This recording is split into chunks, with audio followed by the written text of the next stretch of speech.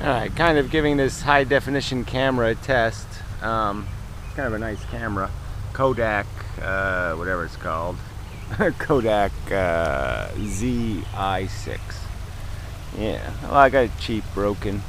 Little, little problem. So I got my little underwater camera in the stream here. But this used to be a spot I used to hang out when I was a kid. I used to come down here all the time, the stream in the summer, spend a lot of time. It used to be really kind of out of the way. And over here, all these weeds over here, used to be a used to be a complete pond here. They used to dredge it actually every 10 years or so, clean it out. And uh, so it was kind of an interesting spot. Um, I mean, yeah, it's nice as a stream too, but I mean, it was kind of nice as a pond. Uh, it certainly held more fish. So anyway, yeah, there were some fish here. It would have been very nice, but they're now afraid. and so they ran away when I put the camera in there. So that's kind of a bummer. So I'll have to go scare them back into view. So anyway, um, thought I'd make a video. Um, yeah, this rock. Yeah, I wanted to just point out. See, it's a rock. It's just a rock, of course, but yeah, it was just so much bigger when we were kids. you know, this whole place was so much bigger. Uh, this camera's sort of annoying. I have to hold it like far, far, far away, which is kind of awkward and uncomfortable. Um, so I'm going to try to put another lens on it. Anyway, um, what did I want to get to? Um, yeah, I probably should walk around so I can scare some fish over here. Um, so sorry about that. Ugh. Uh, Pyro, yeah, know, made a ton of videos. I don't know what's going on in his life right now, but it's sort of interesting. He is making a lot of videos.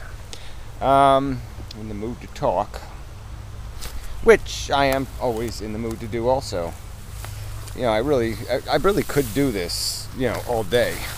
you know, I really, I, uh, you know, arguing, I, you know, I don't like arguing, but I do. I mean, I like talking about things, you know, trying to get to, to some place where we can understand them and convey understanding.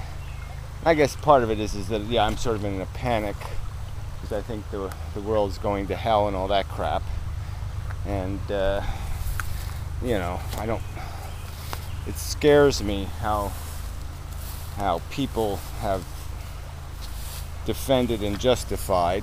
And that's sort of what I got to really watch where I'm walking here, because who knows what the hell's living in here. Um, that's what bugs me about Pyro, is that he, it seems quite obvious that he's just forming, um, you know, a, a happy narrative for life. And that's part of this quantum mechanics stuff. He wants to leave all kinds of openings for, you know, all kinds of mush. Yeah, well, that didn't work too well. Huh. Yeah, I guess they're all underneath this rock now. So maybe I should put the camera under the rock or something. Try to do that. Oh, I inadvertently have, oh, there it is, string. Um, anyway, uh, so where, what's the point I want to get to? Yeah, I won't make this video too long it's high definition, so I want to try uploading it, do a test. Uh, you know, raw, just upload it the way it is, like a gigabyte or whatever. See how long that takes. Um, so where was I going with this? I know I had a point. Oh yeah, yeah, pyro.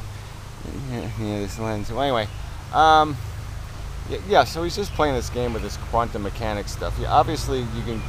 There's all kinds of math that'll point, they'll do things that'll work 99% of the time, and then 10% or 1% of the time, yeah, it's going to have a catch to it because the real world won't work like the math works. And I think the same is true of quantum physics, and it's certainly explicitly true in the sense that, um, you know, uh, describing how something works is not the same as predicting what it will do. And quantum mechanics is good at predicting. It's not even good at it, but you know what I'm saying? It's better than nothing. Um, but it ain't so good at describing the actual mechanism, and that's the important part here. You know, Pyro is is projecting backwards. He's saying because it got the answer right, you know, it clomped its foot four times, that understood how to multiply, I mean, to add 2 and plus 2. And maybe that's not what it's doing. Um, and so to me, it's just sort of a huge cheat. Uh, you, you could, you, this is yet to be defined. It's a it's an undiscovered uh, universe.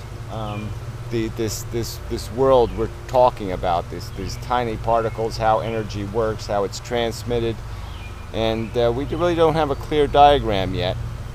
And I guess I'm gonna I'll start another channel where I'll put these kind of draft science kind of videos. Um, because I like talking about it, but yeah, it's it just gets it's it's just too much of a distraction, and uh, it should be done in isolation. So just you can't do philosophy and um, this kind of stuff in the same context. It's just too sloppy, and that's Pyro's mixing things that really don't that shouldn't be mixed. Quantum doesn't have anything to do with human psychology. Doesn't have anything to do with this camera functioning. Uh, it's just a pile of shit.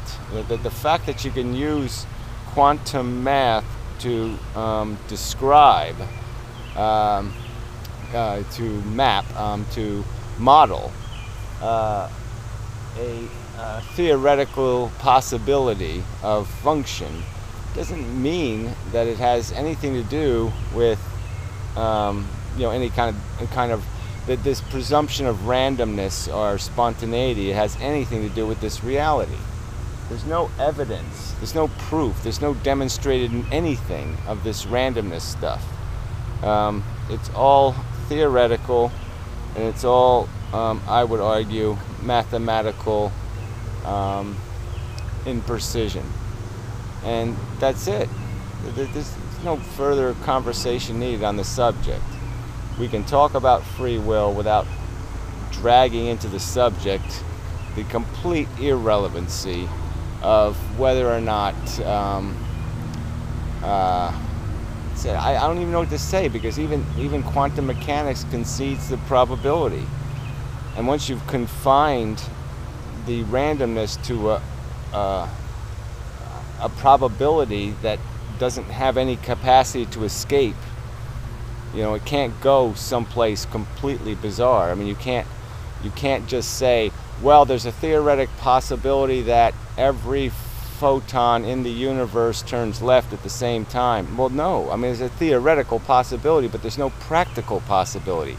It won't happen in a zillion, trillion universes, so you can't use it as an excuse to say there's some chance that you're perceptions or your beliefs or your understanding or the mechanics of your brain have somehow been influenced by something that has a zillion to one possibility. I mean, that's just idiotic to do that. So fuck, fuck that conversation. Um, yeah, it just it is a waste of time to try to mix these things. This uh, the science is immature. All right. Um, but the science of philosophy, the science of understanding where we came from, how we got here, what our brain is, what consciousness is, even, that conversation can take place. We don't need to understand the exact dynamics of energy transfer to be able to talk about, um, you know, how a peach rots. you know, just they're not the same thing. So, anyway that's enough of a video because I don't want to go over time.